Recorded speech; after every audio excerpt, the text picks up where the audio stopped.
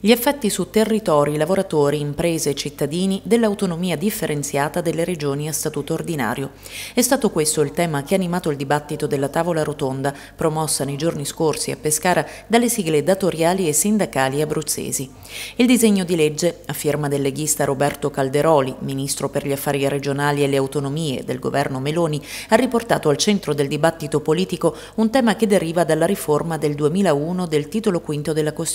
Costituzione, secondo cui le regioni hanno la facoltà di chiedere allo Stato la competenza esclusiva su 23 materie di politiche pubbliche.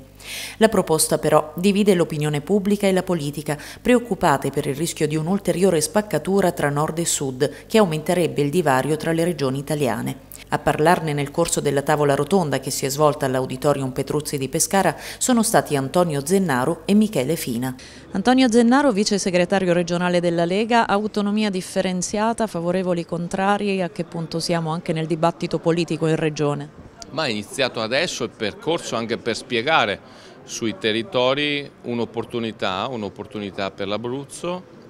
di prendere le decisioni di più sul territorio e magari meno nei palazzi romani. Quindi utile questo appuntamento anche per spiegare a sindacati e categorie una nuova opportunità. Si dice che magari alcune regioni potrebbero rimanere indietro e c'è questo timore anche per la nostra regione, l'Abruzzo? Assolutamente no, perché chi non richiede alcune materie, alcuni ambiti,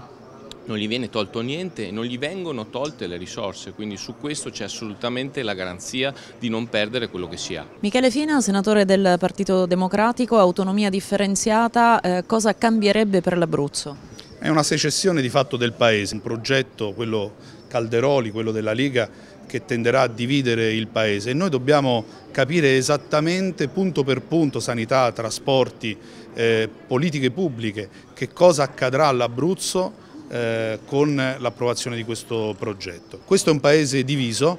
in cui le diseguaglianze sono aumentate, sono aumentate tra nord e sud, eh, sono aumentate per le aree interne, sono aumentate dentro la società e questo progetto invece che aiutare a ridurre le diseguaglianze le aumenta perché di fatto l'obiettivo vero eh, che noi conosciamo ormai da anni è quella della secessione fiscale, cioè di mantenere le risorse fiscali del nord al nord e fare in modo che continui l'emigrazione, che è già un fenomeno